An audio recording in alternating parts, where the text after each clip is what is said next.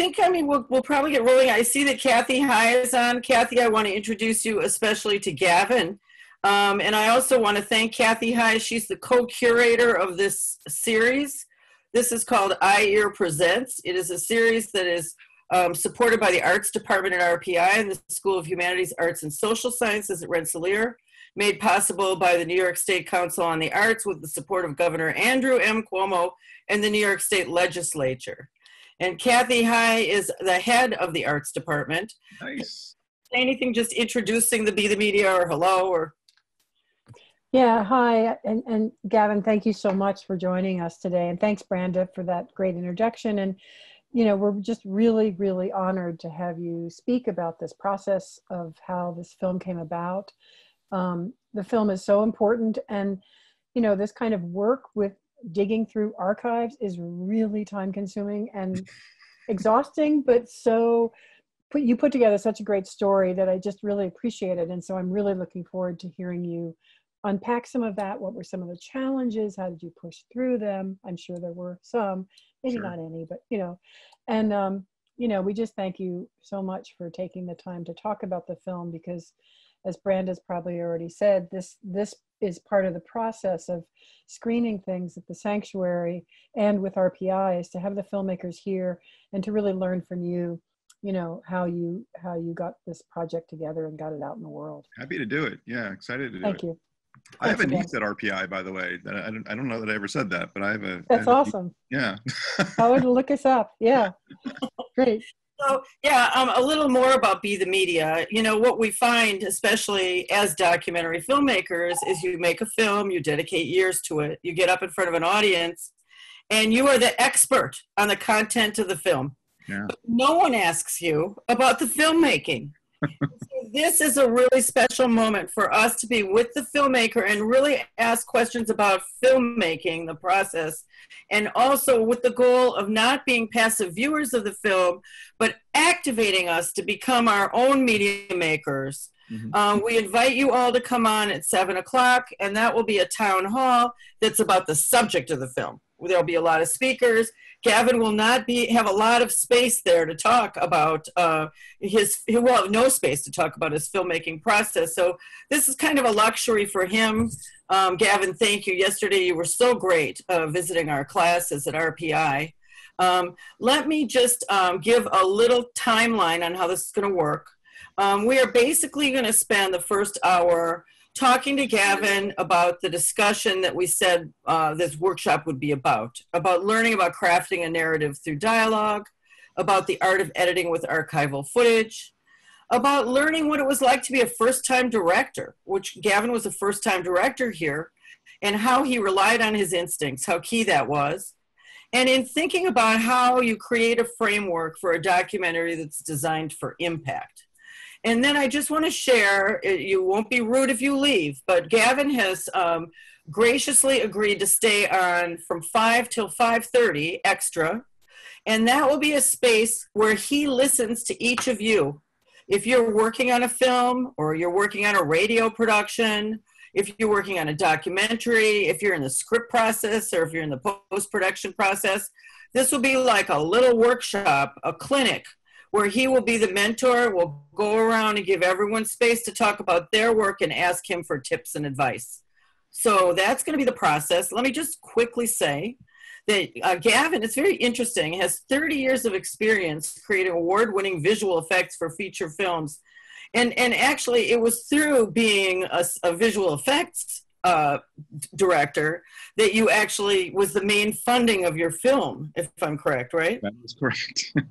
And in 2013, he was in the audience for a presentation by the cast of Roots when they asked the crowd, What are you doing to advance the cause of racial equality and social justice in the world today?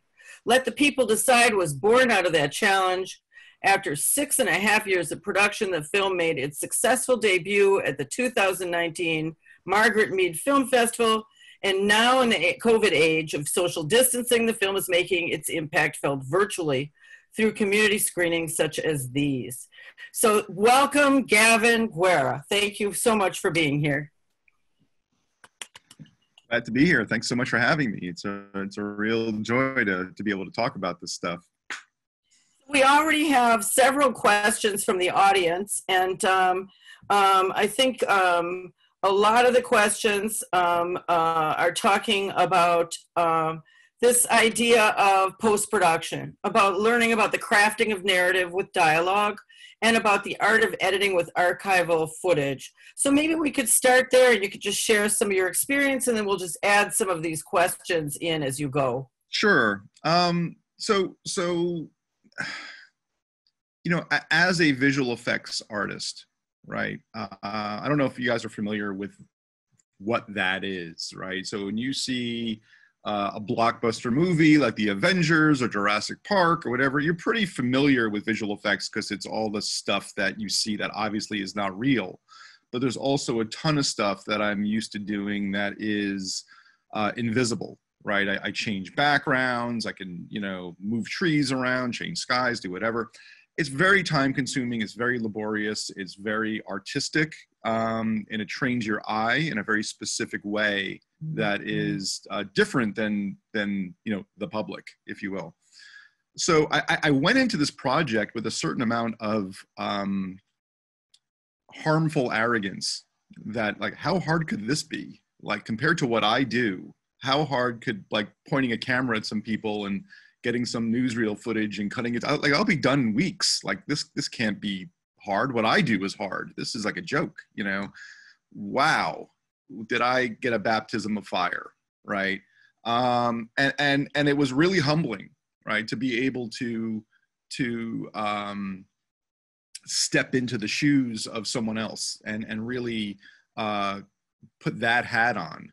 Um, on the other hand, on the flip side of that, you know, as a first time director, you know, you don't know what you don't know and so you don't know enough to be afraid of certain things. You just kind of go headfirst into things and just do them you know? And you know my my post production experience definitely comes in handy because i know how to cut corners or i know what i can get away with visually maybe in a way that um, other people wouldn't you know? And plus i have a fairly deep network of contacts of people i can call on for help you know if i really really felt i needed it.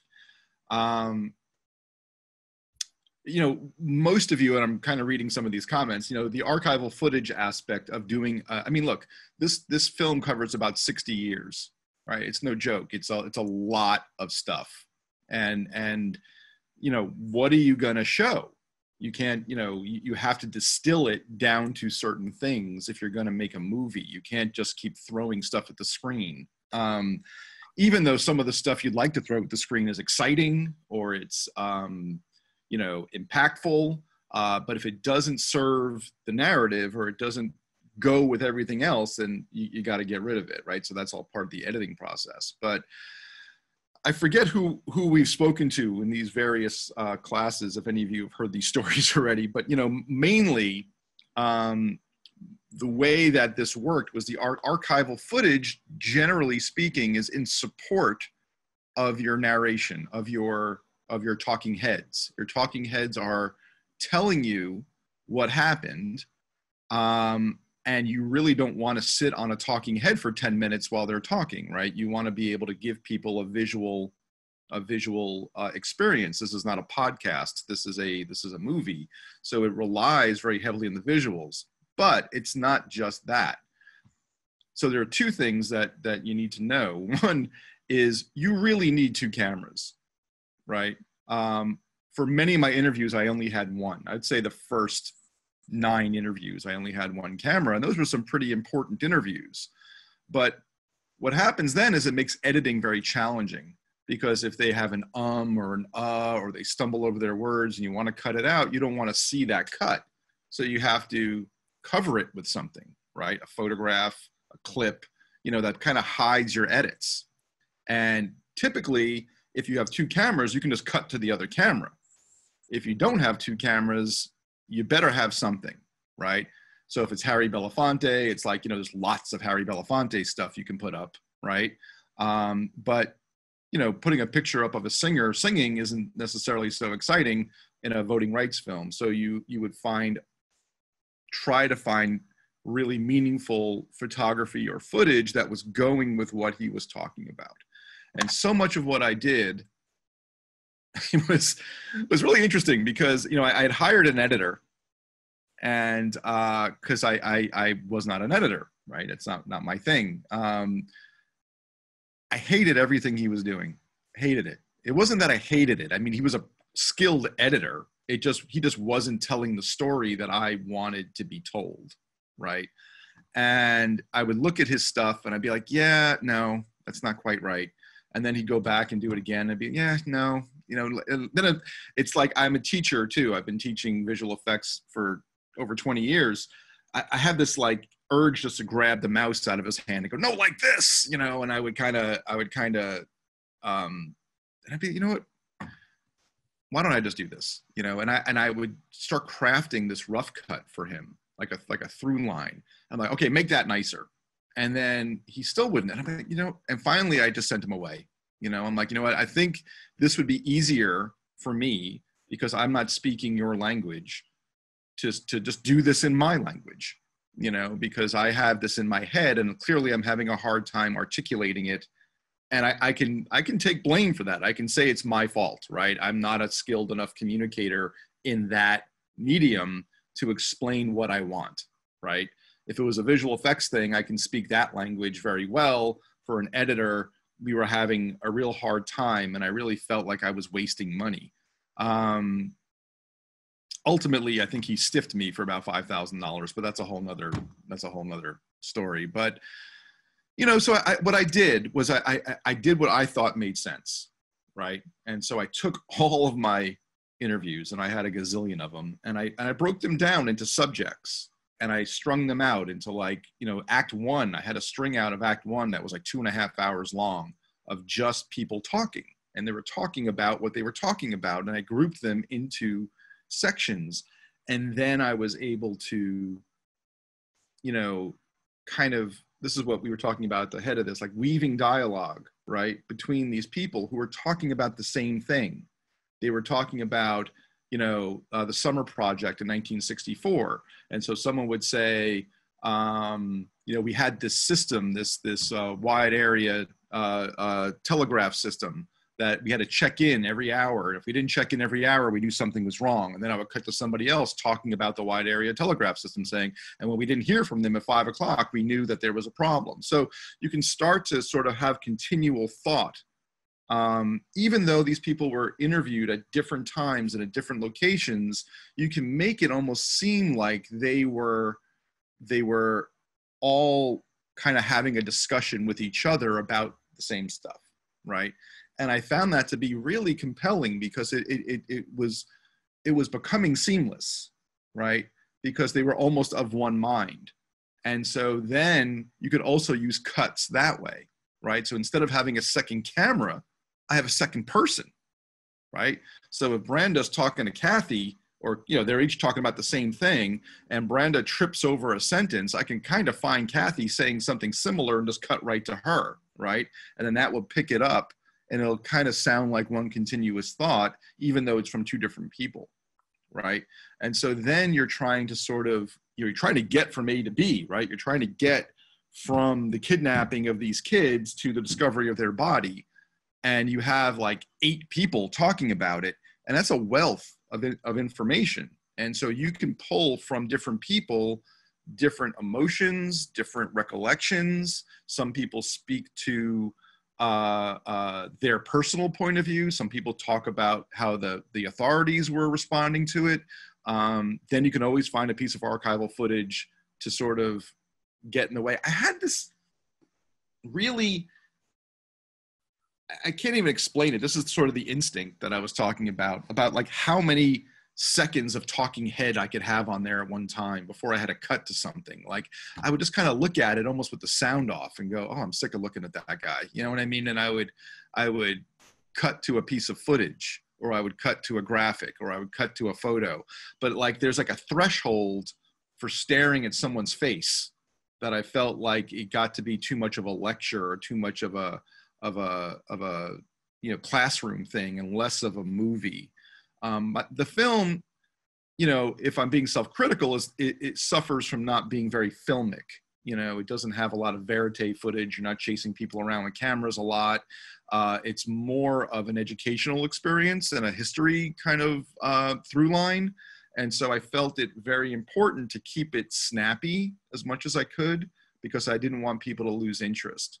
And one of the uh, responses I often get from people is, wow, that was a lot. Like that was a lot. Like, you know, you, you, you know, you packed a lot in there. So Dave Dennis, who's a civil rights icon who is in the film, when I saw, he saw it for the first time, he just looked at me and went, I don't know how you got all that in there. Like that was amazing. You know, he was just so impressed that I was able to sort of really get as much information into the film as I could. And of course, I cut out so much stuff.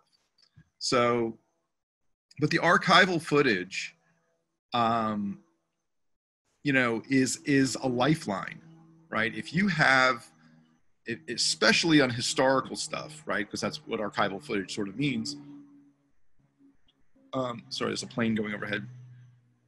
If you have archival support, that's kind of like gold, right? You, you sort of, if you find that perfect piece of footage that is sort of showing exactly what you're talking about, you almost can't wait to get to that part in the edit because you're going to drop in that piece of footage that people are going to go, whoa, you know, like there's that one shot of the police bouncing this guy off the street, you know. Um, when I came across that footage, I was like, um, people are going to respond to that, you know. Um, when when you get to uh, you know the uh, the part say where Reverend Barber and and his his people are getting arrested in the uh, in the state house. I'm like, you know, that's a really impactful. that was kind of funny, not for nothing. That was the first time I met Reverend Barber was that day, right? The day that he they all got arrested at the state house in North Carolina, and I had spent the day with them at this church um, down the street from the state house where they were all prepping for this big march. And they knew they were going to get arrested. This was not a uh, oh, oh dear we're getting arrested. They, they came prepared to get arrested right? Um, but i as a filmmaker just I, I didn't know that this was happening that day. It was just kind of like happenstance that i happened into this and I got there and I was like, whoa, this is great. They're getting arrested. Maybe there'll be fire hoses and dogs. You know what I mean? Like, like I was hoping for like really crazy visuals. As it was, you know, it was great enough of, because, you know, conflict equals drama, right? And so if you have conflict, um, you're, you're, you're, you're really elevating your, your, your piece, you know? Um, and then, and I, I haven't told this to you guys yet. Um, that night anything to anyone. Feel free to tell anything that you've said before. Okay.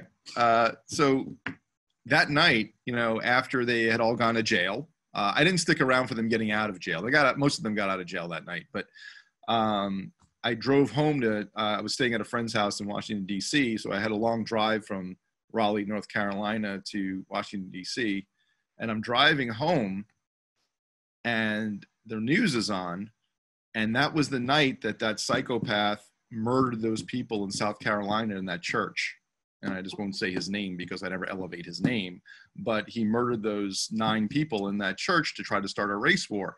And like my the hair stood up on my body because you know if he was looking to kill a an influential black preacher and he lived in North Carolina instead of South Carolina, that could have easily been me in that church. You know what I mean? Like it was it was just that close uh, of a bullet that I felt like this is not fun and games. This is this is this is real stuff, you know. And as I was kind of giddy about all the footage I got um, because it was like a show, you know, and then that really brought it home to a very different level that um, some people don't know that this is a show. You know, this is this is this is real, and um, so that definitely put a, a, a damper on my on my day, you know, and I spoke with Reverend Barber about it afterwards. And, you know, he, he was, they were all like in jail. They got the news on a cell phone and they were just like devastated that that, you know, that day really was a kind of a triumph for them, you know, um, in civil disobedience and it turned into something else. Anyway, so you know, getting that footage, you know, getting that in the can, that is like, there's just such a sense of, wow, I have a nugget of gold here that I can slug into my movie and build a scene around, right? So oftentimes, your dialogue uh, that you're weaving will drive the process. But if you find that piece of footage, um, you will you will make room for that footage in your film because you know that like for instance i don't know if everyone here has seen the film there was that moment uh, i think it was early last year my cut was pretty much locked right? Um, my, my, i knew i was premiering in october. It might have been june or or or spring of 2019 and the Atlantic uncovered this footage or, uh, or, audio tapes of Ronald Reagan talking to Richard Nixon, calling black people monkeys, right? And I had a whole section in my film about kind of the, the, the subversive racist policies of Ronald Reagan, and everybody from the Reagan administration I talked to. It was almost like the Manchurian candidate. They kept saying Ronald Reagan doesn't have a racist bone in his body, right? They all reflexively had this line that they kept saying, and then this tape comes out. I'm like, I think I found that bone. You know, it's it's right here where he calls black people monkeys. You know, and I and I I had to make room in my film for that because that that like you can't not put that in the film, right? So you just sort of had to like wedge it open and slug it right in there. Um, Let me ask you. Actually, you had mentioned this before, but, but structurally, the film evolved uh, really substantively from the beginning to the end. It wasn't even the film you thought. Right. Could you talk yeah. about that evolution and also the role of serendipity, which is you brought up with the barber uh, scene? And did your ideas of audience change as you changed the structure of your film through the? So, that, that, those are all really good questions. So yes, that, that is true. The film I made is not the film I set out to make. Uh, and I, I wonder if that's often the case. I mean, this is my first film, but I, I sort of have a feeling that films uh, react to events on the ground um, quite a bit. So I was interviewing a lot of uh, civil rights leaders and activists. In uh, 2014 was the 50th anniversary of the Summer Project. So I went down to Jackson, Mississippi, and I interviewed a bunch of people there. Uh, I got to hobnob with a lot of a lot of uh, uh, people who were veterans of the movement, and then I found out that Stanley Nelson, uh, who is the renowned civil rights documentarian for PBS, uh, who's won basically every documentary award alive, you know, around, he was making a film on Freedom Summer, and I, I was like, shit, you know, I mean, like, how am I going to compete with that, right? I'm interviewing all the same people he's interviewing. He's you can't tell the Bob Moses story without telling the Freedom Summer story. Uh, he's got a million dollars and a distribution contract with PBS, and I have my little ragtag team. So, um, you know, it, it, forced me to think about uh, the arc of my film a little differently. And just, just you know, not too long before that, uh, was the Shelby versus uh, Holder gutting of the Voting Rights Act. And it occurred to me as Reverend Barber, I hadn't even met Reverend Barber yet. Uh, I wasn't embedded with the NAACP, that these Moral Monday movements uh, and, and struggles over voting rights today were actually more interesting than, than talking about Freedom Summer then because that story's been told, right? That story's been told quite a bit, in fact, and and well, right? I mean, everything from Eyes on the Prize to to whatever Stanley Nelson was doing. These were really well done historical accounts of of that time. So yeah, I think every 20 years or so, you need to have someone redo that, right? Because those films get lost you know to the to the record and the new generation needs to sort of be made aware. So i felt there was definitely a place to make that film but if stanley was going to do that and i was in contact with him after that i reached out to him we talked about it you know and i and i and i said uh, i'm going to go this way and i'm going to make this a then and now piece. I am going to i am actually going to try to connect the dots between what bob moses was doing in mississippi and everybody in the you know SCLC and SNCC and CORE and all those groups down south were doing then, how that dovetails with uh, the Moral Monday movement, um, you know the Black Lives Matter movement, which started you know in 2013 as well. Uh, all these things were coming out. There was a there was a big sort of resurgence, especially of youth activism, right? Uh, in, in around that, Ferguson was was not too long after that as well, right? So there was this big sort of push that was driven largely by social media, and I thought, wow, this is really similar to what SNCC and CORE and those guys were doing back then, just with a different a different tactic. And so I set out to sort of really um, show how we got here, right? How did we end up, you know, back in the streets yelling about racism, yelling about voter suppression, and why are we still having these discussions 50 years on, right? I mean, most people would say, "Oh, we have a black president, you know, racism's dead," and yet here we are, right? So so that became much more the focus and it was a much bigger focus right it made my job a lot harder um, because i had to spend so much time and really thread that needle in a way that that i was hoping would bring the viewer from then to now and so even if it, you know some people pick up on it well and some people don't but if you watch the first minute the intro to my film it outlines the then and now aspect of it, right? You have Donald Trump saying, make America great again. Then you have Ronald Reagan, who he stole that line from, saying, let's make America great again. That was Ronald Reagan's campaign slogan in 1980 was make America great again. So even Trump's, you know, I, his the ideas that stick aren't his ideas, right? Law and order was a Nixon thing. He's running on that now, right? It was George Wallace. So all these old ideas are now being brought to the front again. And so I tried to sort of show that even just to set up the film in that first minute that this was a then and now narrative that we were going to see then and we were going to see now and boy you know we're having the same conversation so that, yeah that that was a torturous time for me right i mean i was a little deflated that um that stanley was doing you know it's like you know you know you, you feel like you're doing something uh big and important, you know, and then like, you know, Robert De Niro decides to make the same movie. And you're like, oh, okay. Well, maybe, maybe I, I, should do something else. Right. And so you really, you really have to roll with that stuff. Right. I mean, I had all this great footage. So this just happened two weeks ago. Right. I swear to God, I'm in talks with like Netflix and Amazon and all these people about distributing my film, and fricking Stacey Abrams drops a drops a voting rights film that Amazon bought in January. It turns out it sucks, excuse me, but um, it it it part of, I mean I'm being facetious. I'm I'm I'm actually glad that there's another voice amplifying this issue, right? But you have to sort of be able to to roll with those punches, right? That someone's always gonna, there's gotta be enough room for your vision in there. And I was pretty sure that nobody was dumb enough to make a movie that covered as much stuff as I was, right? That, that to make that 60 year arc is, is such a heavy lift. Um, you know who did a decent job of it was Ava DuVernay in 13th, right?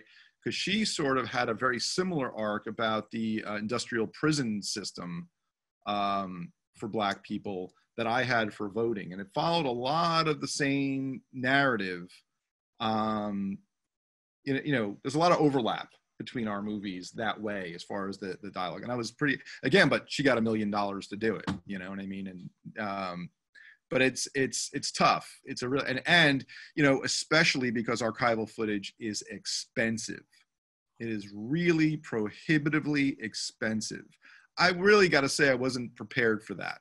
Um, the only thing more expensive than archival footage is music, right? If you're gonna like get a Jimi Hendrix song or a Frank Sinatra song in your movie, like that's like ridiculous amounts of money. But going to NBC News and getting, um, you know, four minutes of archival footage cumulatively, uh, for festival rights, you're looking at about $32 a second to do um, worldwide distribution rights, you're looking at you know close to a hundred dollars a second. So a 10 second clip is a thousand bucks, you know. And then if you have talent in it, if you have Walter Cronkite or somebody, they almost double that, right? And so um, you got to, you know, you got to be really judicious about how many seconds you're you're going to be able to use for that. Now, there is public domain archival footage. Um, and then there are some crafty people who are pretty slick about licensing you free footage. Um, they're like aggregators. They sort of collected all this free footage under one roof, and it becomes like a one-stop shopping place. And for that convenience, you pay them X, right? And it it's worth it, honestly, right? Like if you're going to give them a hundred bucks for a clip, and you have to spend uh, uh, you know two days finding that on your own, um, the hundred bucks is worth it, right? I mean, because the two days of your time is worth more than a hundred dollars. So you have to sort of make those those trade-offs you know with your eyes wide open and and know what what's free and what's not free and what what needs clearance and what doesn't need clearance and you know then you hire a lawyer and he charges you more than anything else um, you know for what you can use for uh, we haven't discussed fair use yet you know the idea of um, you know basically stealing footage and saying this is i'm making this public domain because it's out there in the ether and is uh, germane to my uh, essential to my film. Um, you know uh, so so the woman at nbc told me don't call me up and tell me you're going to fair use something okay that that's like just don't do it she said just do it and make me come after you because i'm not going to come after you right? That's kind of what she said. But if you actually are dumb enough to call me and tell me that you're going to steal from me, I, I sort of have to, you know, alert the legal department and they'll, they'll come after you. But if you're going to like use a three second clip or a four second clip, um, I, you know, no one's going to really come after you, right? But uh, so, so she basically gave me license to, to do that. Uh, but a lot of the stuff I got wasn't out there, meaning that it was in the NBC archives and it had big watermarks on it, or they had to transfer it from the original film, and there's no getting around that, right? I mean, if, if you need them to give you that footage to get the big NBC logo off the middle of the frame, you got to pay them, you know? And, and, uh, so I, I, I really just, the, there used to be more like the Wild West, I'm told. There were a lot of different uh, archival houses. Um, they're, like everything else, are getting swallowed up by the bigger players. So you're, you're getting like Getty Images is like bought so many collections now that they own a big chunk of stuff, mostly photographs um, go through Getty. Then you have, um, I think it's Wazee Digital, like has the CBS archives. Um, and maybe ABC. ABC doesn't have much of an online archive. CBS and NBC have really strong online news archives, and NBC Universal um, is a big player in that game. They, they have a lot of stuff. And then the, the, the, some of the best footage I found was on Fox Movietone, which was old newsreel footage from 20th Century Fox. Um, and they're just getting started. So they're actually pretty, pretty happy to have you use their stuff. Um, National Archives. I used to always use National Archives before the digital age. That's right. So the National Archives have now punted, which really upset me, right? Because uh, they will not let you know whether or not anything is copyrighted or not. They, they refuse to they refuse to uh, give you provenance. It's like uh, here it is. Use it at your own risk. Um, we don't know where this came from you know, we have it stored here. And then you do a little research and you find out it is a CBS News clip. you know what I mean? And so, so then you find out like, okay, you know, should I use this? Should I not use this? Um, but I will tell you the greatest, uh, one of the greatest resources that you could use as a historian, uh, and not that I count myself as a historian, but I was acting as one here, are presidential libraries, right? So anything that the government snaps with a camera belongs to you. Okay. And that's from NASA to, to the White House press secretary. So they have gazillions of photographs um, because there's somebody that follows the president around all day with a camera, right? So they generally, in their libraries, in their archives, there is a WHS index um, the White House something. I don't know what the S stands for. Uh, and you can just do a search, right? You can say, you know, Nixon with uh, Judge Rehnquist, right? So you're like William Rehnquist, Richard Nixon, and they'll give you like a, a list of all the photographs they have of William Nixon with, with William Rehnquist, and they might be contact sheets. They might be like little little thumbnails. But you know what? All you got to do is ask, and they'll they'll print them for you. Now they'll cost like twenty dollars each or fifteen dollars each. I mean, in in my world, that's free, right? If I can get if I can get a really high res, beautiful print for you know for worldwide use for fifteen bucks, that's a win, right? So I got a lot of Nixon pictures. I got a lot of uh, Reagan pictures. Uh, the George Wallace stuff I got was from the Alabama archives, right? So Alabama, most states have like a historical society, right? And they're really good about working with you. Um, the ones that are tough are so universities often have um, collections right? They'll have the Gavin Guerra photography collection or something like that. And the thing is, is like they're happy to share it with you, but if you're going to use it for film, you know, the photographer wants some money, and I get it, right? Especially if he's alive. Um, so then there's this kind of whole back and forth where you gotta just a lot of emails a lot of contracts you know. You, and it, it, might only end up being $75 it might be $150 but it's just, just a lot of red tape as opposed to going to the historical societies or the presidential libraries which are kind of like that. Um, and then every now and then you get a photographer who is just so cool and uh, herbert randall comes to mind uh, I used a couple of his photographs, and he, he's like 90 and he lives on Long Island. And I get him on the phone, and he's like, he goes, "Yeah, man, you know, use what you want. You know, you can give me a dollar or two if you want." I said, "But it's no big deal." And he said, "You know."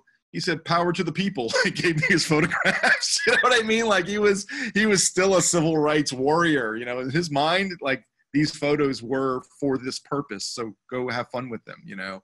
And then there was one guy who was like, You will not use my photograph without crediting me on any aspect of your film, or I will sue you. Right. So it, it was like a, it, you just have to sort of walk that tightrope when you're doing this stuff.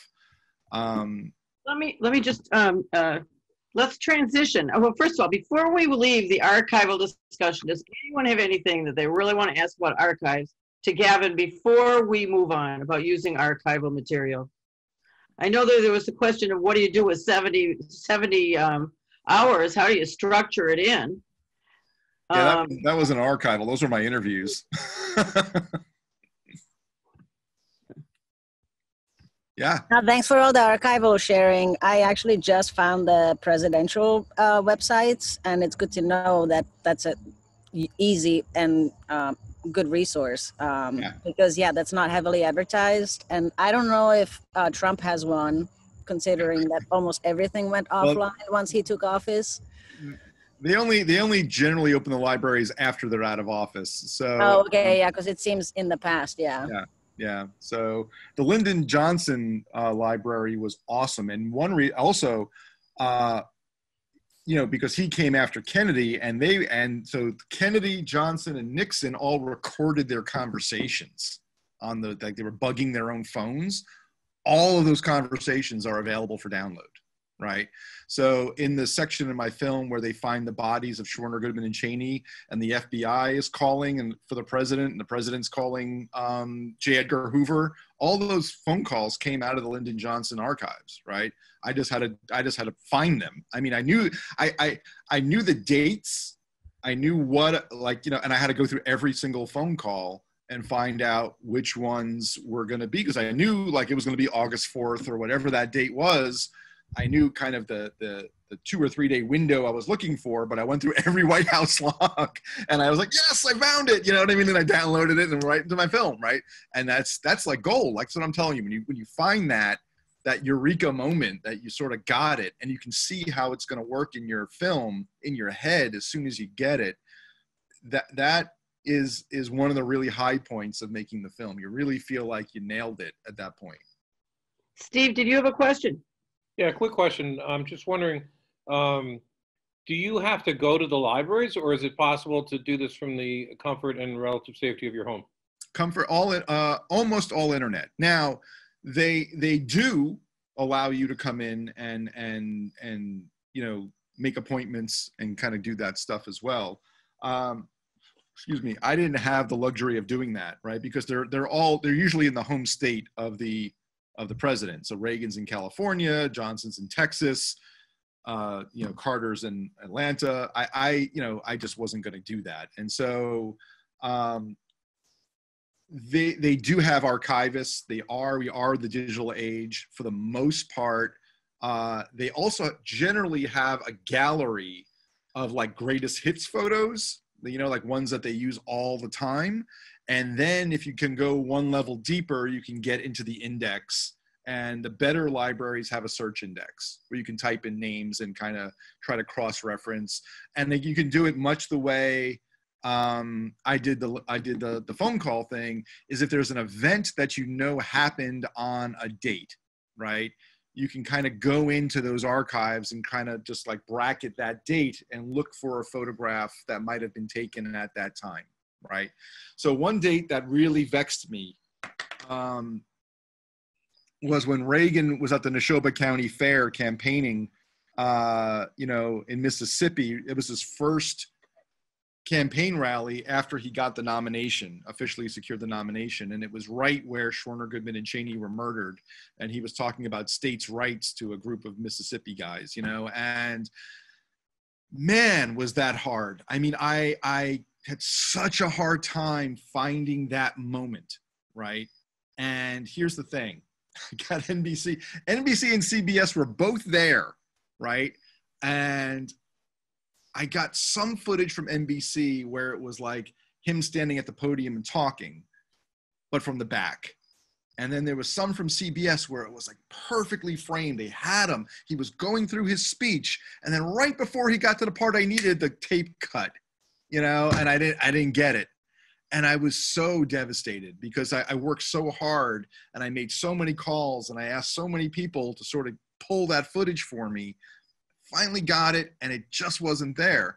So what I ended up doing was I used the footage that they gave me, right, of him talking at the podium. It's kind of B-roll footage of him talking. But when he had to say, I believe in states' rights, I only had the audio. And I had the audio from like an audience member, you know, it was well before cell phones, but somebody was recording it and it was kind of scratchy. So I just took some of the B roll footage of him from behind and I put the audio on top of that as if he was there saying it and you know I kind of fudged it together. Uh, I didn't feel like that was disingenuous. I mean, it was it was that moment in time. I just didn't have a picture of his face mouthing those words.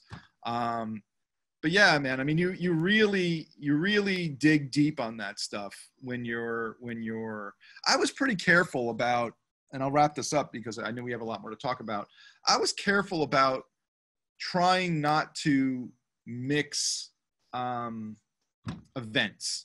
Like I wouldn't put uh, an Alabama march in my Mississippi section, right? Even though they might have been similar, it might have been like you know dogs and fire hoses. If it wasn't that thing, I didn't want to show it as that thing, you know. And I, I was pretty confident that I could at least find a still frame or a or a photograph or a newspaper headline of that moment. And if I couldn't, uh, I did some animation. I just did some some pretty you know rudimentary um, animation to sort of fill in the blanks because I, I just didn't want to, I didn't want to, for lack, I mean, not to denigrate anyone, I didn't want to Michael Moore it. You know what I mean? I didn't want to sort of start putting things in different places and mixing my timelines if I could avoid doing that. So a quick follow-up. Uh, you said you can do this from the comfort of your home. Is there a meta search engine that you can just put in uh, what you're looking for, or do you actually have to go to the sites of the archives and search each one of them? Uh, yes, is the answer. So there is a meta search engine through the Library of Congress that will link you to the White House press archives, right? And that will get you that WHS dash whatever thing I was saying. Typically, the libraries of the presidents will have a shortcut to that those years of their of their presidencies, right? So the Carter years being 77 to 81 or whatever, you know, like they'll kind of help you bracket that, or they'll bring up their own search engine that will be a front end to the uh, the Library of Congress one. And honestly, I found their libraries to be more usable. I found the Library of Congress one to be a little um, obtuse. It was a little hard to sort of navigate. not surprisingly.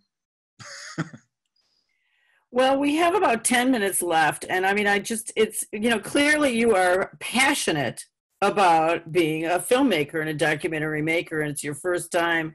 And, um, you know, I know you told the story of you, you, uh, you work, uh, yesterday I heard you tell the story of how you work nine to five as a visual effects director, and then you come home, you hang out with your family for dinner for a few hours, and then you start the real work from three in the morning, right? Exactly. 3 a.m., right? And that's the passion work, right? Where you throw your whole being into it. And I'm just wondering if you could speak to each of the people here um, in this workshop. On, you know, like what that experience is like. Just, you know, of this life transforming experience of becoming a documentary filmmaker. And if you have any advice or words of wisdom after going yeah, i do i do actually. And the first the, the most important thing that i can say to that is that the subject matter has to mean something to you i mean my job my job you know i i I do commercials mostly, right? I mean, I sell toilet paper and toothpaste, and as much as that needs to be sold, it, it doesn't it doesn't really motivate me after 30 years so much anymore. Like I can't wait to get up and do that scope commercial. You know what I mean? Like it doesn't really thrill me so much, right?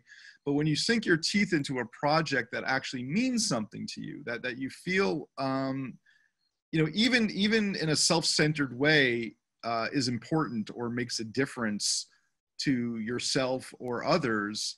Um, it, it's not that hard to stay up till three in the morning doing it. In fact, you look forward to those nights of of digging through the footage and and and, and going on that treasure hunt for that piece of archival footage, um, or scheduling that one more interview. So this is kind of like a thing. Like if I'm if I'm if I have a, a, a, four minute sequence of Brenda talking about documentary filmmaking, and I've, you know, I've, I've interviewed her twice and I got four hours of footage with her, but there's still a hole you know? Like I'm, I'm still missing something that's not quite there. I'll have to figure out how to fill that hole. I better call kathy. Kathy might have something to say about that and then she can fill that hole right? So it becomes you know this sort of puzzle that you're putting together uh-huh. and, and it, it's it's it's i don't know if that's a mindset like you have to be that kind of person that likes doing that. I am. I mean it turns out i am right? And i really enjoyed um, pulling it all together. Like that to me was was so gratifying, especially as a visual person, to be able to make what I felt was a was a visually compelling movie that was that was full of um, maybe history that uh, a lot of people might not have known. So yeah, that's about. So you got to care, right? If you don't, I mean, if it's work, um, then then that should be your day job right? And and you should try to you should try to get paid to do it. Uh, i i uh, i did not have financing. I had a little bit of public financing. You know i did a kickstarter at the very beginning. I raised about $20000 um, from that. Uh, that was a fraction of what i needed to, fil- to, to to make this film but selling toothpaste and toilet paper was enough to sort of finance the rest of of the movie as much as i could so i used you know whatever i had left over from feeding my family i would you know shove some money into the film if I needed to pay somebody, a sound editor or a uh, my, my my music was original music, so I, I hired a guy to, to to make the music who's who's a pro. Uh, I I turns out I suck at doing sound, right? Of like you know miking people, like that's a thing, right? I mean that's really important.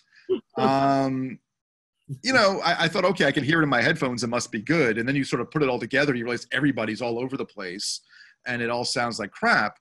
Um, so someone told me much later, uh, I wish they had told me earlier, that if you're on a budget, you know, almost you'd be better weighting your budget 70 30 in favor of sound, right? Because people are much more forgiving of crunchy video than they are of crunchy audio. like crunchy audio weighs on people in a way that is not good. So, um, anyway, I, I, I can't stress enough that if you're going to live with a project for six and a half years the way I did, uh, and actually it's now over seven years uh, just doing this stuff, uh, it better be something that you like talking about. It better be something that you um, are not resentful of doing, right? Because otherwise you're never going to see it through. Any last questions before we move on to individual people getting feedback from Gavin? Do you have your next big project lined up? I have a couple of little projects lined up, uh, and they're offshoots of this one, right? Um, so uh, one one big storyline that I, I couldn't make because I didn't I didn't have the archival footage. I didn't have any photographs. I didn't have any footage. It was an amazing story that I have a lot of people talking about, but I didn't have any visual support for. Um, I'm going to try and make a short out of that. Um, and, and, it was a it was a it was a student led walkout that um, indirectly, actually directly led to SNCC giving up direct action. Now, so direct action is what they call like the sit-ins or the freedom rides, or when they sort of get in your face um, and and really try to antagonize you through their nonviolence. Um, and so what was happening in Mississippi was they would throw you in jail for 30 years, right? And unless you had the money to bail everybody out and do these court fights, uh, Mississippi was not the place to do direct action. And so they switched over to voter registration because that was federally protected. Uh, if you were being arrested doing voter registration, uh, you can get remanded to federal court and you had some room to operate. But that walkout was such a big deal um, and led to so many different things, but I couldn't put it in the movie because I didn't really have uh, the support. And then quickly, one photograph in my film is of this woman named Fannie Lou Hamer, and she's pointing her finger. And it's a really powerful photo. And it's by this guy named Al Clayton, took the photo. His daughter sent me uh, contact sheets of a bunch of his stuff. Like, oh, I have all this other stuff, right? This was amazing. It was a black and a white child playing together in a field, uh, climbing over some lumber. They were they were um, they were just like being kids. They were like five or six, right? And it was such a nice little moment of this black and white child playing together. It was sort of this interracial uh, uh, thing that was like in 1971 or something.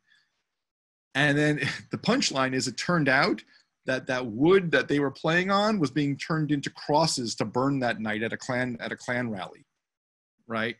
And so it was this kind of really ironic moment because the you know the, the men were there watching these kids play and it was okay for their white kid to play with this black kid uh, until sundown when they put the hoods on and set the whole thing on fire right?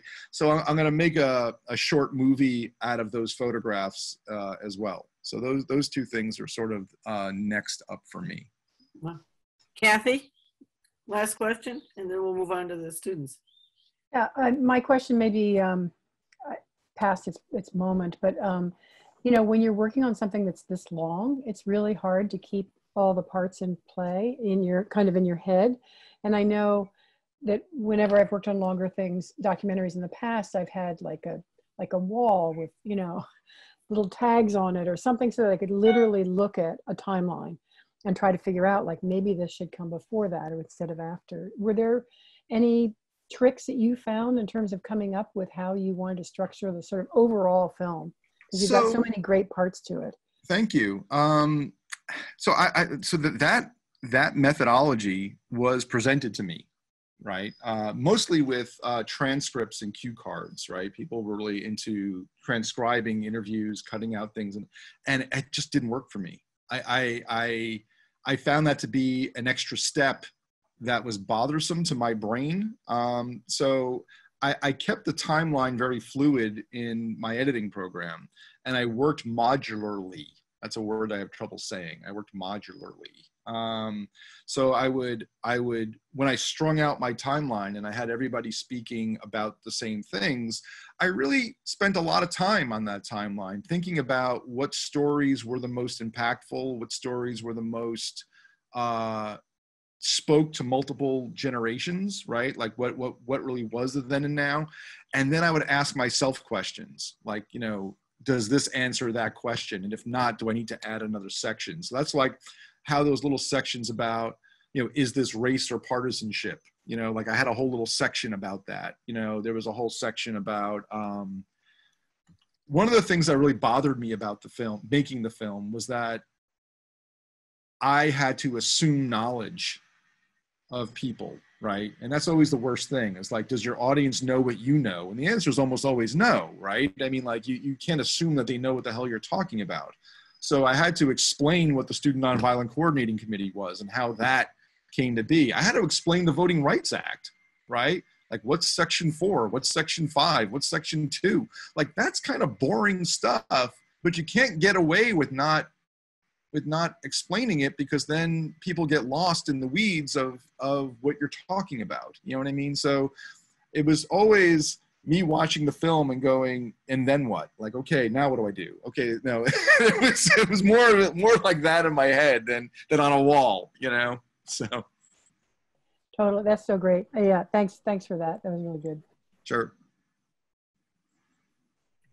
We're going to switch to our um, kind of um, clinic spot.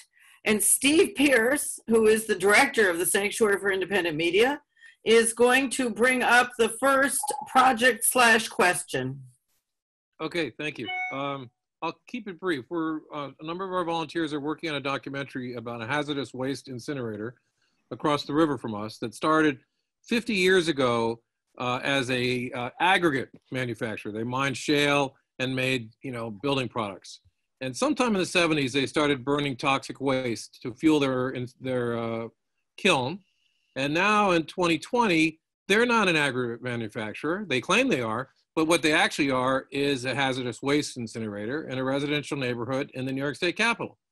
And uh, we've been working on it. We have a lot of doc. We have a lot of uh, original interview footage that one of our producers has made, but we don't have any documentary footage. We don't really know what Norlite looked like in the 50s. We don't know what the story was when they opened, what people believed about them.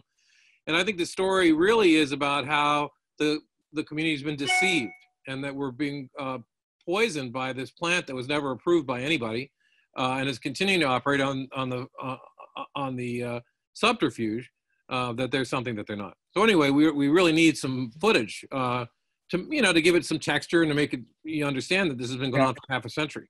Yeah. But it's super hard to find. I Google and Google and Google, and I can't find anything. I can't find much of anything except in newspaper archives. There's some stuff going back to the beginning of the internet, and then it's difficult to find stuff uh, easily. Um, and uh, the the stuff that I would do if it wasn't the COVID panic would be to go around poking into the historical society, poking into the library.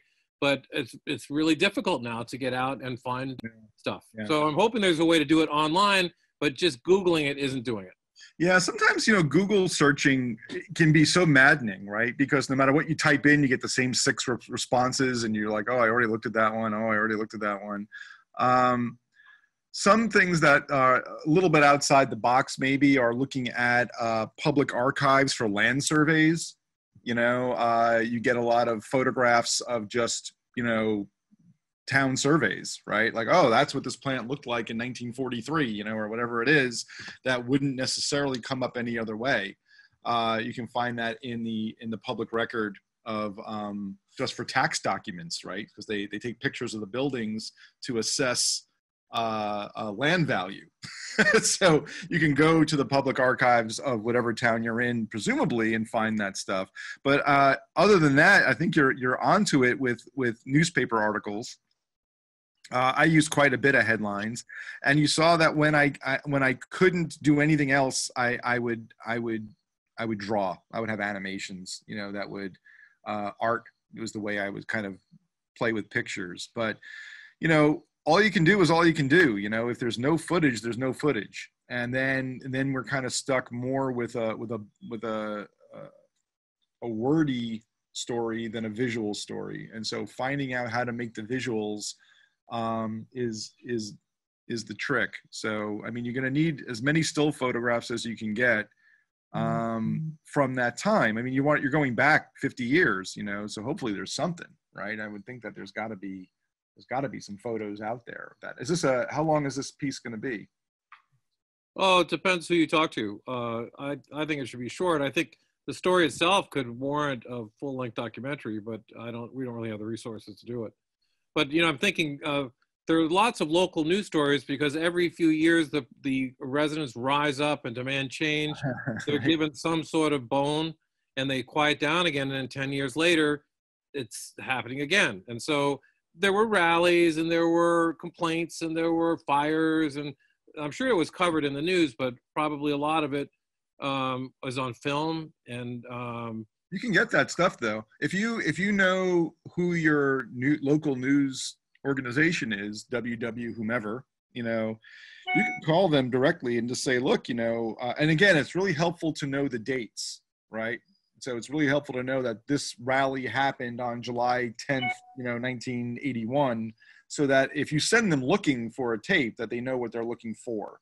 Um, otherwise, because most of that stuff will not be digitized you know uh, you're right and it's going to need to be transferred um, and they will generally charge you a screening fee to do that right um, they're not going to do it for free so you have to know what you're looking for just to just to save money on your end um, if you're going to go on a fishing expedition to, to, to do that that's what i was doing with that reagan stuff right none of that stuff was digitized i had to go and kind of say it has to be in this window can you digitize these tapes and i got a lot of great stuff but it ultimately crapped out right before the useful part. But you know, if you have a local news station, they generally have crappy videotape of stuff lying around. You know what I mean? Um, sometimes they tape over them, sometimes they throw them out. You know, but it's it's worth it's worth an effort to do that. But man, I don't I don't envy you that. That's that's a that's a really that's like a question almost that gets asked at the beginning of the production is how much visual support do you have? What are the pictures? Right? What are the pictures? And I had people quiz me on that early on.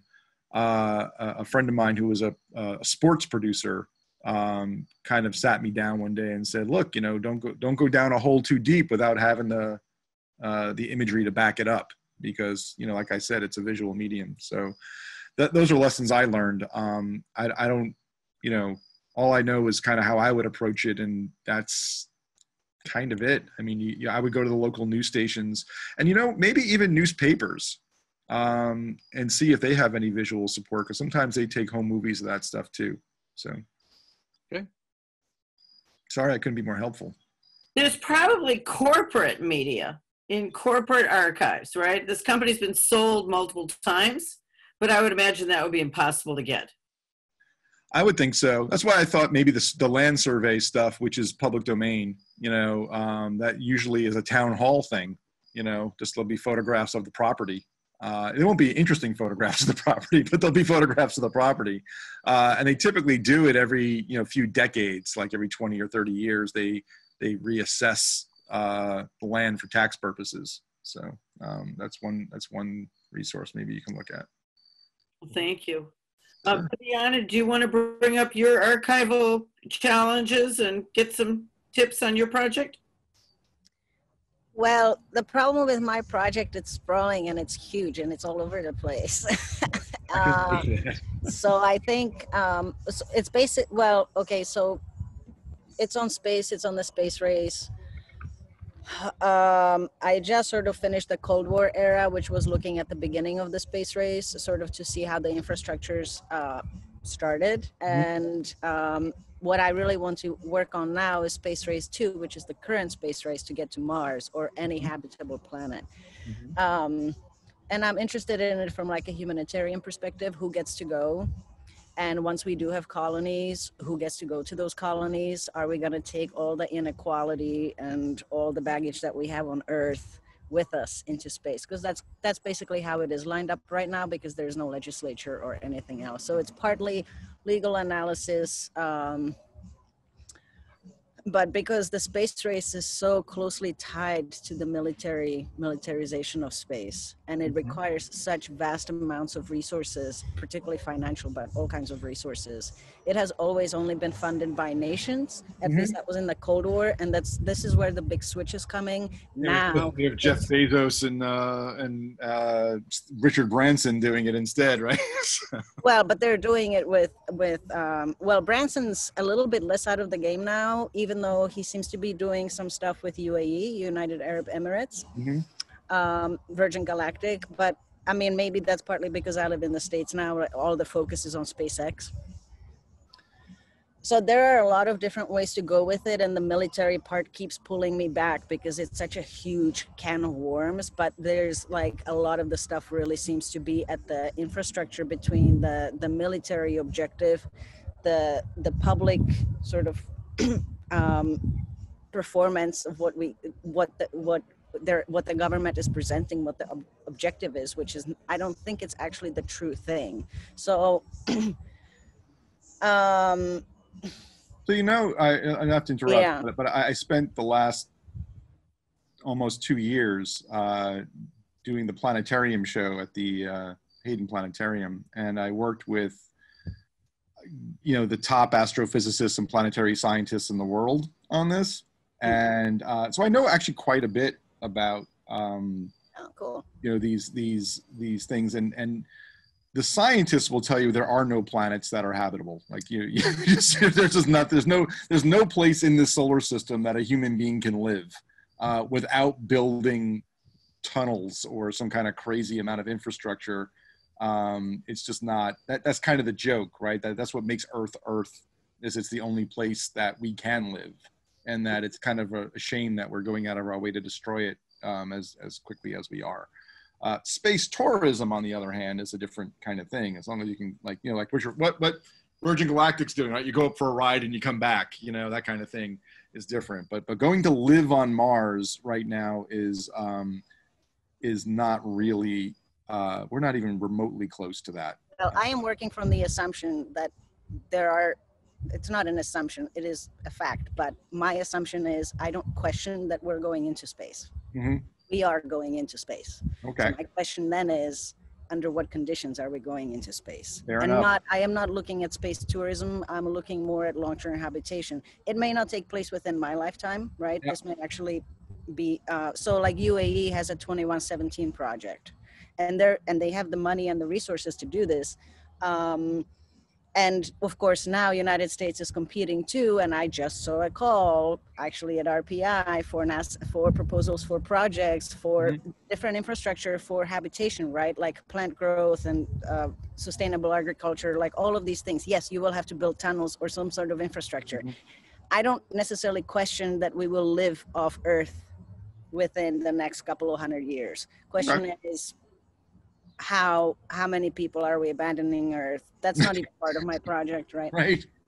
so um so i i am definitely interested in space so this is the interesting part when you work with the cold war era right those are old archives and a lot of the stuff is so old that it's also been declassified right because the cold war is deemed over Right. um, but the the part that I'm really excited about is the current, right?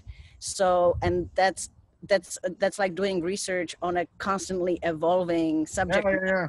Yeah. um, and that poses, uh, I guess that's kind of similar to your North Carolina section, that Yep. it poses a different set of problematics than looking at historical work. Yeah, I had to draw a line in the sand somewhere, right? Uh, about how far back I was going to go because I could have gone back to Reconstruction. I could have gone back to you know 1868, you know, or something like that. But I mean, you know, 60 years was plenty for me, um, and I thought that I could tell the story that way. Like, where do, where do you stop? Mhm. And then, like you said, currently, especially on something uh, like voting rights or like you know an evolving field like uh, like like you know uh, current space missions, uh, it's really hard to keep chasing that to keep chasing that line. So so it's it's it's more I I think if it was me and and you know you sort of have to stay uh, as current as is necessary, meaning like it, it sounds like you're almost doing the same kind of thing. It's sort of like a then and now thing. We have the Cold War, and then we have today, and ha- you know what led to this. Or if we're just telling the story of this, that is a moving target, right? And so you you, you sort of have to say, um, what is the seminal moment, right? The seminal moment when SpaceX, uh, you know, launched the first uh, mission that docked with the ISS and successfully returned people home, right? So that's like, you know, a historical moment, and I can bracket my my thing with that, and then. You know, if you saw in my film, I had a little epilogue, you know, where like, you know, I, I kept updating I swear to God, I was doing exactly what you're saying. Like, you know, every three weeks I would have to change that, you know that little epilogue because the thing that I was talking about had updated right a little bit. And i was like ah, oh I'm gonna do this. No now i gotta do that. So like when john lewis just died i'm like do i have to add him to my in memoriam section? Because this becomes a problem especially when you have custom music because now if i make it longer now all my musical cues are off right? So you you really just have to be able to you know like any good artist you have to know when to put the brush down and just and just sign it right? So i think that yeah i think that you you know I don't know, maybe that maybe the new uh, the new mission to Titan that's coming up, or uh, the new missions to Mars from various countries, like you were talking about. Like maybe it's one of those missions landing successfully on Mars, and that's that's like your ending. You know what I mean? And then and then you back into that, right? But if you there's an extra layer since it's just an intimate conversation now and Bibiana, I mean, I keep wanting to hear more about this, but there's the whole queer perspective and the kind of queering lens of this story. Could you talk about that? Because it really actually shifts what might be that seminal moment. Well, maybe I construct the seminal moment. Well, so there was, I was supposed to do a queer landing on the moon. okay. Because I really want to queer space and I also want to bring other people, you know, like a handicapped person, like anyone who just basically not a bunch of white men, right? Like, sorry. Sorry, sorry, not sorry. All right, that's okay. Are you sourcing uh, Gil Scott Heron's Whitey on the Moon? Is that going to be in your movie? Wait, what? I don't know this. Gil Scott Heron's Whitey and the Moon, and Ade Knowles, who was a professor at the at RPI in the arts department, who just passed away, was in that band. He was one of the musicians. Really? Yes. So Gil Scott Heron is considered like the like like the godfather of hip hop, right? He was like a poet, um, acid jazzy kind of uh, musician who ended up being a crackhead and died. But he um, amazing. Yeah, dur- during the uh, Apollo missions, right? you know, th- th- a lot of again, just like in my film, a lot of the same conversations we're having now we were having then, right? Yeah. So one of Martin Luther King's, um, you know, kind of of his cohort, um, this guy Ralph Abernathy, uh, would organize these protests. Like we are starving in Alabama, and you're sending, you know, people to the freaking moon. Like, why are we spending all this money? on something so frivolous and silly when we have real problems with real people down here that maybe you know white people just don't care right and so this song this this this uh you know it, the song isn't quite necessarily what it was but it was more like a a, a poem to music uh was about how much suffering there was here but whitey's on the moon right? And yeah. so and and that was the that was the construct right of these protests about the the the white pride. Like you know it's sort of like uh, uh, frederick douglass talking about the fourth of july right? It's like what does the fourth of july mean to a slave? Like you know what do we care about your your freedom you know? So it's the same kind of construct. So for the queer aspect it's kind of similar like you just said. It's like you know oh we keep sending white people out into space. Big deal you know? Um you know what does that mean to me and so I think that to be more inclusive, and like you said, who gets left behind as a social construct is a really interesting tack. So that could be fun. Certainly, certainly a unique angle. I mean, it also gets complicated with the whole artificial intelligence, and that UAE also is giving citizenship to artificial intelligence with feminine bodies. So it like really. Sorry, what? yeah, yeah, yeah. It's very interesting. But they also give citizenship to falcons, so they have some interesting citizenship rules. But yeah, there there's like so many different layers and different ways that it could go. I think I really just need to sit down and figure out. Yeah, I think I think I think it's like like you need to sort of there needs to be a linchpin. There needs to be uh, something that you're building this around right? right? And if if it if it is that moment, if it is the moment that you know the first trans person lands on the moon, say, right? Whatever that is, if it's Kristen McCullough, and the Challenger, if it's you know whatever that is, that's got to be your your thing. Like you know, I had the signing of the Voting Rights Act in 1965, or the lead up to that. Then I had the gutting of the Voting Rights Act in 2013 that were able to work as my bookends. So that can kind of build the construct. And then, of course, like you said, I had to follow these court cases in North Carolina, and I didn't know how those court cases would end up. Right? I mean, that that was I was in the middle of that, so uh, it could have gone any way it went. But I knew that the end of that court case had to be the end of my movie because I just couldn't keep going. It just didn't, you know, it was that was a, a nice ending was whatever that ruling was going to be so i just think that you know just uh, uh, uh, narratively i think you sort of have to have your payoff in mind i think so Yeah. Thank you for that. sure sounds like a great project Thank you. It's exciting for sure. Yeah. Melissa Bromley, are you there? Kat, do you have anything you'd like to ask? Or Kathy? Um, okay. Oh, there you are. I'm She's here good. too. Yeah. I actually do. I do have a, a question because you talked about. Uh, I, well, it's piggybacking off Steve's question, and it's.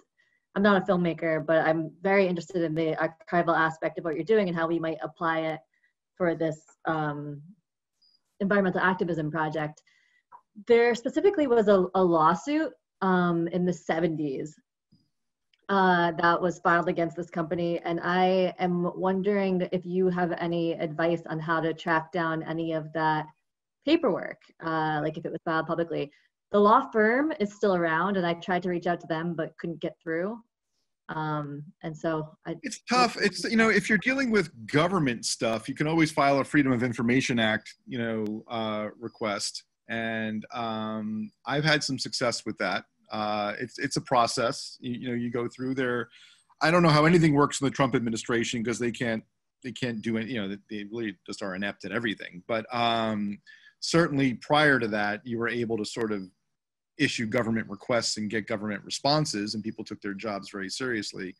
Uh, public records, you know, uh, they're hard, and and and it's really helpful to have help to do that because you know, you can't be in every place at one time. So interns or people like if you can wind people up and set them on a path and just give them one thing to do uh, i find that is a really good use of people who volunteer right? Because some people always come to me, how can I help? And I'm like, well, you know, you can go find that picture for me, you know, and I'll kind of tell them what it is that I'm looking for, and they can tug on some strings and see what comes back. Um, you know, because anybody can Google, right? You can Google and hope to see it, but it only only takes you up to that whatever Google puts in front of you.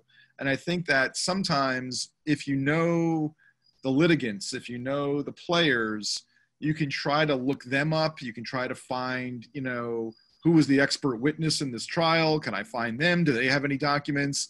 You know just do a little woodward and bernsteining you know to try to find that that thread. Uh, it's it's you know most people want to talk to you honestly. And if they have and if they have that uh that document oh i've been waiting for that day when someone would ask me for these pictures you know what i mean so so i think that that's not I, I, I don't have a better answer than that. I mean, it, it's not uh, it's not an easy thing, and it's you know archival research uh, assistants are really valuable people because especially someone with experience who knows how to work those databases. But if you're doing detective work, I mean, boy, you know, you just got to find out who was suing who, what law firms were involved, call them up, see, and you know, they're law firms don't want to talk to you, right? They're going to say everything's confidential or whatever. They Mhm. can't do that. But if anything's public record, you should be able to find it. thank you. I'm sorry. That's a lame answer, but I, I wish I had a magic bullet for that. You know, we say to people that the real bottom line is to be curious. That that curiosity is at the essence of everything, you know, of all creation. I think I think like what we talked about yesterday that I didn't really get a chance to because I talked too much is uh, you know taking that first step, you know, getting off that starting line because everyone's got an idea, right? Oh, I got an idea. Oh, I got an idea. I can do. And everyone talks about making films, but you know, how many people actually just get off that mark and and and make that first interview and and do that research and start stringing things together? It's it's you know, my hat goes off to people who who've been doing this for for their careers because it's not an easy thing to do. I mean, that's that's what I learned, right? My my initial arrogance certainly got got tamped down and replaced with humility and, and awe at you know the people who are able to, to to make a living at this and who consistently pump out good compelling stories so i just uh, thought i'd follow up real quickly with this um, Norlite question i just did a little bit of research very quickly uh, and found uh, online news footage from the local news stations yeah um, I, I, can you just take that i mean uh, or do you have to make arrangements for it? well, make- this is this is what I said. The NBC people said, right? I mean, you can take it, um, and if they come after you, they come after you, and then you might have to pay for it. But so a, a National Geographic photographer said to me once, and it's it's kind of a cliche because I think I've heard it elsewhere, but he said it's always easier to seek forgiveness than permission, right? So uh, go ahead and like if you're gonna take a picture of somebody while they're praying. Like you might, you don't want to like tap them on the shoulder and say, "Hey, is it okay if I take a picture of you while you're praying?" Like you, you know, you take the picture. If they get pissed, you go, "Oh, I'm so sorry." Right? That's it. But now you have the picture, right? So I would say slug it in. Find the footage, slug it in. If you if you can find it, use it. Um, and if they come after you, you say, "Oh, you know, well, first you can probably make a fair use claim for it uh, anyway." but they're likely not going to come after you for it. I mean, the people who come after you for it tend to be like Disney because they come after you for everything. But um, you know, I would think that you'd be able to to use that footage. My experience has been that you don't need to worry about it as long as it's a marginal documentary that no, nobody sees. Or right, if you're making too much money on it, all of a sudden people are going to want to get a piece of that, right? So, so sort of it's sort of a self-defeating thing because you go ahead and use all the stuff without making arrangements for it assuming that it's going to be it won't be very popular. But if it does get popular all of a sudden it's like oh fuck i don't that's a good problem to have though right? I mean i'll take that problem. I, I would like my movie to get seen enough that somebody thinks it's worth suing me for. That would be awesome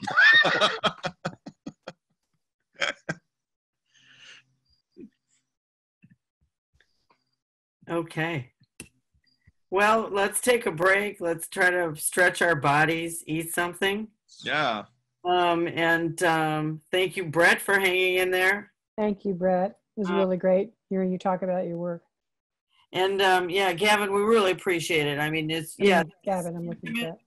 Yeah, no, it's. I mean, you know, it's intimate, but it it it actually is wonderful for for us for being here. It's um, I find it like such a treat to be able to just you know I mean, it's such intense footage. It's such an intense story, and we're going to move on to that tonight at seven.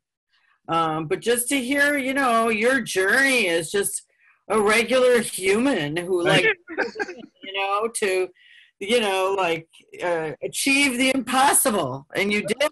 You know what I appreciate though is a like you're right. Nobody ever asked me about any of this stuff, and b I, no one no one has yet asked me a question that I got asked a lot uh, at the beginning, but I haven't heard much lately, which is why is a white person making this story, right?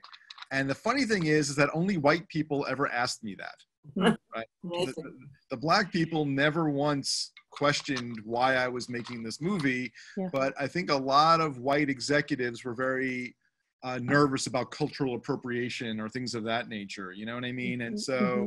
it was almost like, what right do you have to tell this story? And I was like, I, you know, I, I don't know. I don't know that I have an answer for that. I mean, I guess if there were uh, black filmmakers who were making this story, then that would be a different question. But uh, Reverend Barber never questioned why I was making it. Bob Moses never questioned why I was making it. You know what I mean? The people involved in the yeah. movie were very supportive of me making it, but I, I never once got asked uh, during the making of it why why it was my story to tell. You know, and um, I, I never gave it a moment's thought. Like I never, I literally never gave it a moment's thought when I was making it. It wasn't until I was done that people were questioning me that, and I don't know that I ever really have a good answer for that question you know i never because it never really occurred to me you know? i mean my my question would be how did you know seven years ago that this would be such a prescient you know your oh. idea was so prescient then for this film i mean yes it came out a year ago but you know